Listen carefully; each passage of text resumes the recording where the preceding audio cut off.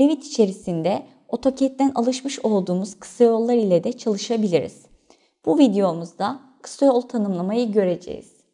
View sekmesi altından User Interface komutu içerisindeki Keyboard Shortcuts menüsü ile kendi kısa yollarımızı tanımlayabiliriz. Assignments menüsü altında Revit içerisindeki komutlarımızı ve atalı kısa yollarımızı iki harften oluşan şekilleriyle görebiliyoruz. Ve bizler de kendi kısa yollarımızı atayabiliriz. Bunun için Search menüsü altından atamak istediğim komutumu seçebilirim. Örneğin section komutuna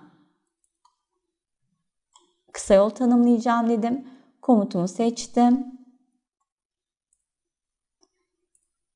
Ve press new keys diyalog kutusuna atamak istediğim kısa yolumu iki harf olarak yazdım.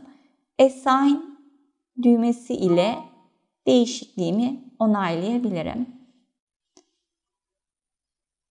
OK ile işlemimi onaylayabilirim.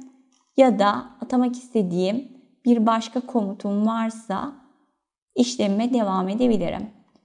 OK ile işlemi onaylamak istiyorum ve komutumu kontrol etmek istiyorum. Klavye üzerinden SC yazdığımda tip seçimi altına ya da section komutumun geldiğini görüyorum. Mouse'umun imleci ile çizimi yapabilirim. Kestimin sembolünün çizim ekranının üzerine geldiğini gördüm.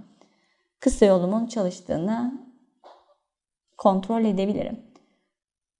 Tekrardan View sekmesi altından User Interface Keyboard Shortcuts menüsü ile kendi kısa yollarımızı tanımlamaya devam edebiliriz.